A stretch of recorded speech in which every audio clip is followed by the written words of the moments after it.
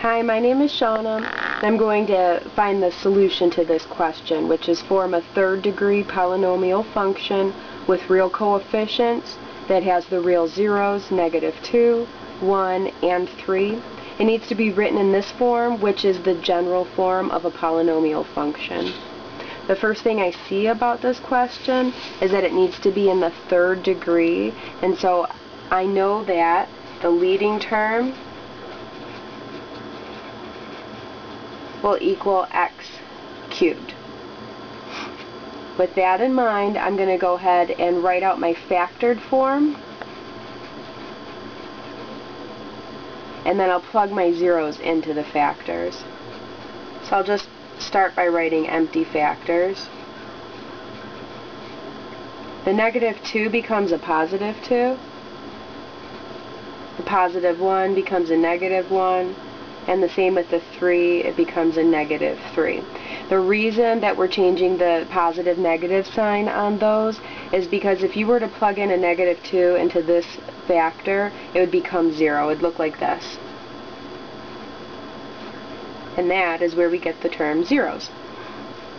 So from this factored form, I'm going to FOIL it and expand it. I'm going to start just by foiling two pieces foiling, of course, is first, outer, inner, last. So we'll start by multiplying x times x, which becomes x squared. x times negative 1 is negative 1x. 2 times x is 2x. 2 times negative 1 is negative 2. I'm going to bring those down here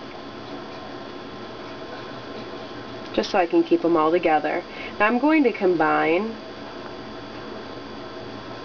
These two terms are like terms, so I'll combine those to become x squared plus 1x.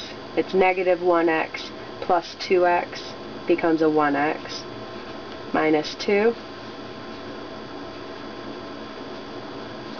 Now I'm going to FOIL this factor to this factor, so x times x squared is x third, excuse me, x to the third power.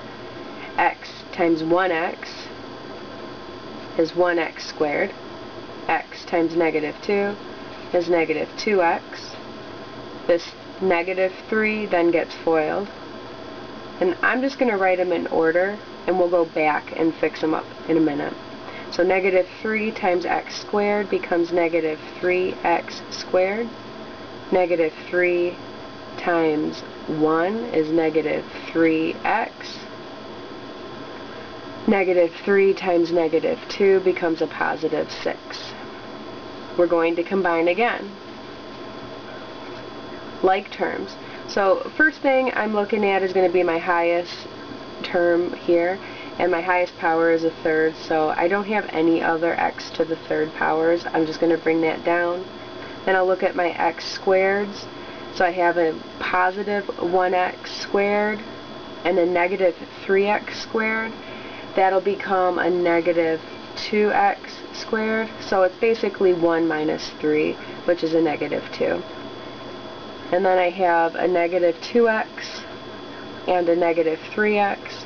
So negative 2 minus 3 is negative 5x, and then my 6. So this is the polynomial function with the real with real coefficients and the real zeros of negative 2, 1, and 3 in the general form of a polynomial function.